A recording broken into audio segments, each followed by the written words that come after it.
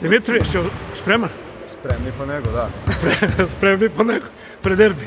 Tako je, tako je. Čekamo, idemo u Kragujevac, tamo igramo protiv favorita lige. Imaju dva veoma dobra igrača koji nisu uopšte za ovaj rang, takmičenja, ali mi verujemo u naš kvalitet i verujemo da možemo da igramo s njima. Pa mi nismo za ovaj rang takmičenje, mi smo za je, više. tako E, je, tako. istina. Ovaj osmeh tvoj, on govori dosta. Hajde da ga vidim. Ja sam od svih igrača tražio, tražio, da kažu idemo da ih pobedimo.